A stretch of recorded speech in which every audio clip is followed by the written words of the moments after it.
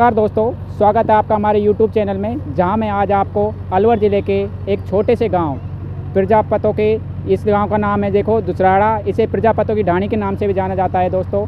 यहाँ पर जो खाना सर्व किया जाएगा, देखिए दोस्तों, वो सारा मिट्टी के आइटम सर्व किया जाएगा। इस टाइम मैं आपको डेमो दिखा रहा हूँ, देखिए दोस्तों, ये थाली है दोस्तों, इसमें सारी जो कटोरी है या कोई कुल्लड़ है, या कोई भी सब्ज़ी जो भी सर्व की जाएगी, देखिए दोस्तों, इसी प्लेट में मैं आपको इसका अंदर की तरफ़ से डिज़ाइन दिखा देता हूँ और ये बाहर की तरफ़ से इसका डिज़ाइन है। देखिए दोस्तों, जो भी इसमें भोजन होगा, सारा इसी में रखा जाएगा। मैं आगे आगे भी आपको दिखाता हूँ, देखिए दोस्तों।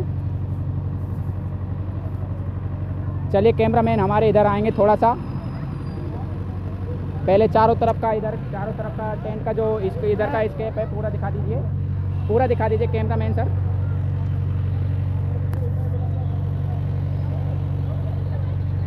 थोड़ा चारों तरफ़ का।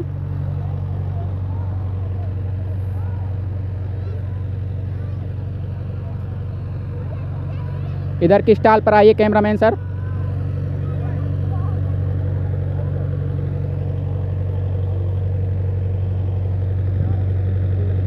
देखिए दोस्तों, या तो दूध या पनीर की सब्ज़ी हुई, या आप रायते में ये गिलास, यानी कि कुल्लड़ ये यूज़ लिया जाएगा। ये दोस्तों, देखिए, ये है 130 ml का।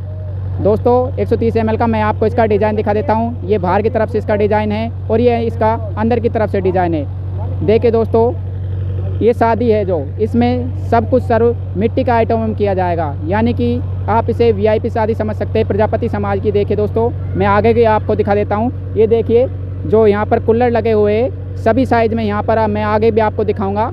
ये देखिए कुल्लड़ लगे हुए हैं यहाँ पर और इधर मैं आपको अगली स्टॉल पर ले जाता हूँ। तो यहाँ पर देखिए दोस्तों ये कटोरी। ये देखिए, कितनी शानदार इसके ऊपर से शाइनिंग है। और दूसरी देखिए, बाहर की तरफ़ से इसका मैं आपको डिज़ाइन दिखा रहा हूँ। देखिए दोस्तों, ये इसका बाहर की तरफ़ से डिज़ाइन है और ये अंदर से। ये देखिए दोस्तों 130 ml की ये कटोरी है, जिसमें सब्ज़ी के लिए इसे यहाँ पर यूज़ में लिया जाएगा। आगे भी आपको दिखाता हूँ मैं। देखिए, चलिए दोस्तों, अगले स्टॉल पर आप देखिए देखिए दोस्तों। ये देखिए, ये भी वही कटोरी है। देखिए दोस्तों, इसे यहाँ पर पनीर की सब्ज़ी या आलू की सब्ज़ी या छोले की सब्ज़ी के लिए यूज़ में लिया जाएगा। देखिए दोस्तों, मैं आगो, आपको दिखा देता हूँ। अभी कुछ आइटम्स जो मिट्टी के हैं, वो अभी रखे नहीं गए हैं, क्योंकि अभी तैयारी चल रही है। उससे पहले मैं आपको ये वीडियो या आपके लिए ये जानकारी देना चाहता हूँ। आगे आइए, कैमरामैन सर। ये देखिए, जो फ्रूट्स की यहाँ पर लगे हुए हैं, इनके लिए भी मिट्टी की प्लेटें हैं। देखिए, इनके लिए भी मिट्टी की प्लेटें हैं। और मैं आगे भी आपको दिखा देता हूँ, जो चाय या कॉफ़ी है, उसके लिए जो कुल्लड़ है, उन्हें भी मैं आपको डिज़ाइन है, जो उसका साइज़ है, वो भी मैं आपको दिखाऊँगा। कैमरामैन सर, इधर आइए।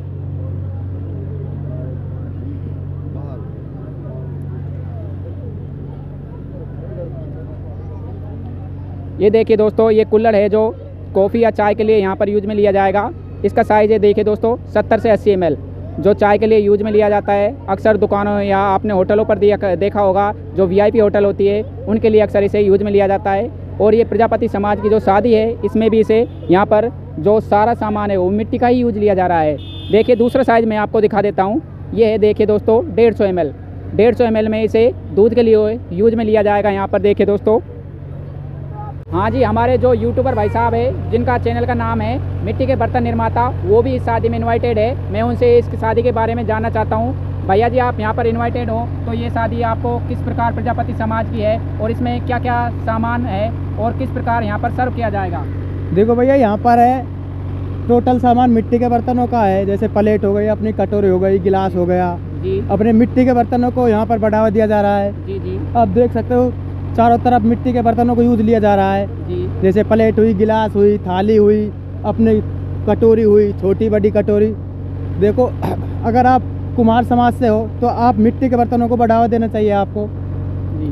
और आपको कुमार समाज से नहीं अब तो इंडिया में मिट्टी के बर्तनों को बढ़ावा देना चाहिए और ये अपनी प्लास्टिक को बैन करवाना चाहिए ताकि कुमार समाज को और छोटे बड़े कारीगरों को मौका मिल सके अपना काम काम बढ़िया करने का। भैया मैं यही कहना चाहूँगा आपसे कि भैया आपको मिट्टी के बर्तनों का काम को यूज़ लेना चाहिए। जैसे अपने गिलास हुई ये सस्ते पड़ते हैं उतने ही जो रेट के पड़ते हैं जितने अपने प्लास्टिक सामान होता है और ये अपने पर्यावरण के लिए भी शुद्ध होता है। इससे किसी का प्रदूषण भी नहीं होता है। हमारे दर्शकों को ये बताएँगे कि इनका उपयोग क्यों बेहतर है और प्लास्टिक क्यों बैन होनी चाहिए? भैया प्लास्टिक उसे रिन्यूअल होने में बहुत टाइम लगता है। जी। अपने ये मिट्टी होती है इसको तो आप कहीं पर फेंक दो। जी जी। और वे वैसे भी रिन्यूअल हो जाती है कहीं पर जी। पटक दो इससे कोई कचरा नहीं फैलता है। जी। बस यही कहना चाहता हूँ कि प्लास्टिक को बैन करें और मिट्टी के बर्तनों को यूज़ करें आप।